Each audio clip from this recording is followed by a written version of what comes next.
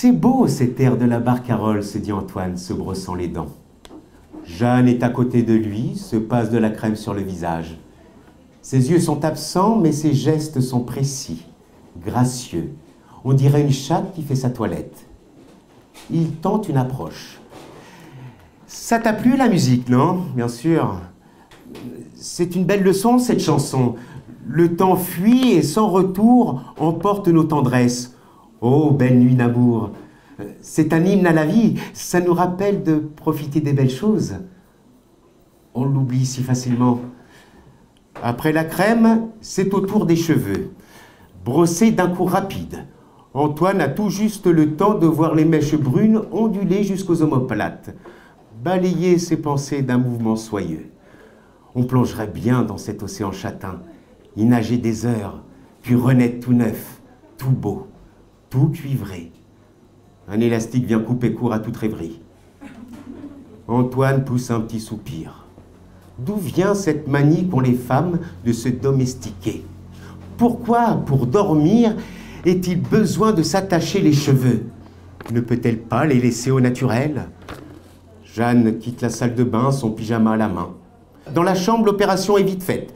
Elle enlève sa chemise, son pantalon glisse, le soutien-gorge tombe. Dans le miroir, Antoine aperçoit un bout de cuisse, l'étoffe bleu ciel d'une petite culotte, bientôt engloutie par une masse de tissu mauve. Il se rince les dents. Tu l'aimes bien, ce pyjama, glisse-t-il. Jeanne ne répond pas. Ça fait des années qu'elle l'a et qu'elle le met presque tous les jours. Euh, tu le mets souvent Tu n'as jamais envie euh, d'en porter d'autres? Il a un drôle de regard, Antoine. Pourquoi pose-t-il cette question? Si je t'en offrais un, par exemple, j'aime ce pyjama, tu sais bien. Et puis, qu'est-ce que ça change? Oh, rien. Je me dis, ma femme mérite peut-être mieux que ce vieux chiffon. C'est, c'est un peu une pâte, non? Jeanne le regarde avec surprise. Certes, il n'est pas neuf, mais de là à parler de pâte. D'ailleurs, c'est peut-être le seul vêtement un peu vieux qu'elle ait, elle qui ne porte que des choses impeccables. Antoine s'approche. Il est soudain là, tout près d'elle, affable, généreux. Soucieux de sa femme, il la presse contre lui de ses grands bras tendres. Un goût bizarre lui vient à la bouche. On pourrait te trouver quelque chose de sexy, non? Le mot est lâché. Un mot qui la désarme, auquel elle ne comprend rien. Il existe de très jolis négligés. Jeanne se raidit définitivement dans les bras qui l'assiègent. Devant la gêne de sa femme, Antoine dessert son empreinte. Chérie, je ne voulais pas t'embarrasser. Si tu n'aimes pas les négligés, tu peux garder ton pyjama, évidemment. Merci, dit-elle en se dégageant. Le ton est sec. Elle semble contrariée. Sans doute a-t-elle eu une rude journée. Son travail la prend beaucoup ces derniers temps. Visiblement, ça ne la dérangerait pas d'aller tout de suite au lit. Tu m'as l'air fatigué. Je te laisse dormir Je vais lire au salon. Merci.